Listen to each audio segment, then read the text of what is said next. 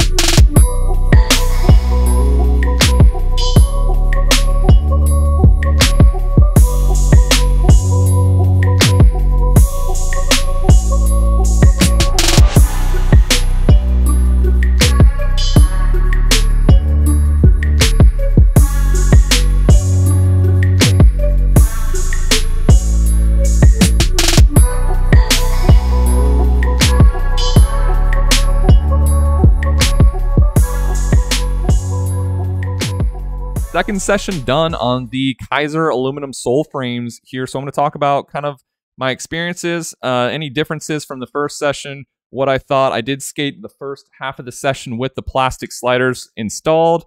About halfway through, I took them off. Boop.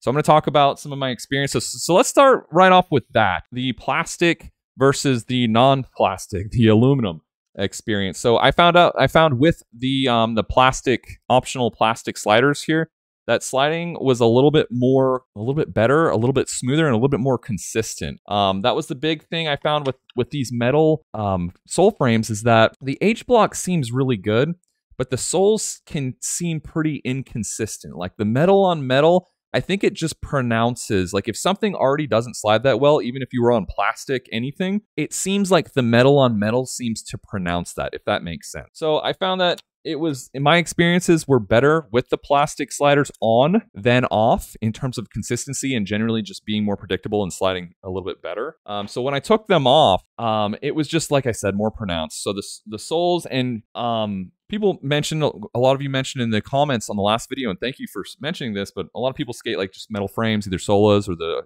uh, you know Kizer Element 2s or whatever and they were saying there's a pretty distinct break-in period like there's a, a necessary break-in period for metal frames uh, where it takes a little bit of a while once you kind of get them sort of broken in to the point where they slide a little bit better and a little bit more consistently. So unfortunately, I'm not going to be able to skate these. These aren't mine. Thanks again, Zach, for letting me borrow these, but these aren't mine. So I'm not going to be able to skate them for like, you know, a month to really break them in and get that true like understanding. And, and I, I wish I could, but unfortunately I can't.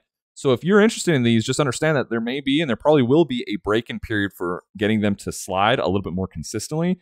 So just keep that in mind. Yeah, overall, it seemed like the H block slid pretty well. Unfortunately, on most things, the soul plates just just didn't seem to slide that well. It made it it might have been the skate park a little bit, but even with the plastic sliders, it was better, but it wasn't great. It wasn't like lightning fast. It wasn't anything uh, super impressive. And um, yeah, just unfortunately, like not that impressed. So let's talk about one of the good things about these frames, and I've mentioned this on the first video, and no surprise, but because they are metal, and I think because it's all one piece here, that it's all metal, it's all one piece, I think that contributes to maybe even more rigidity than just having a metal frame by itself. Potentially, I'm sort of I'm speculating here, but either way, they translate a lot of power to the ground. So if you like park skating, if you really want that extra speed um, in terms of transitions and pumping and, and translating the energy to the ground, um, these are really good these are really good. Just understand too that with the metal frame, it's going to translate that power, but it's also going to translate that shock up to you from the ground up to you as well. So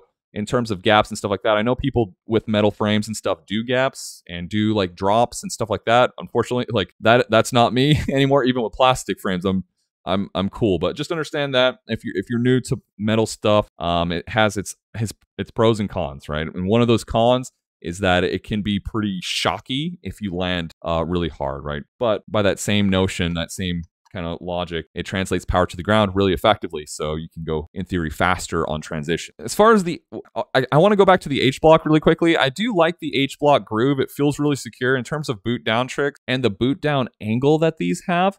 Um, it feels really good. Like that was one big key takeaway with these is that like the boot down tricks, like back torques on these and front torques feel really, really good. I mean, I, I like torques already on my factions here, but um, specifically like front fahrvs, which I don't really do that often.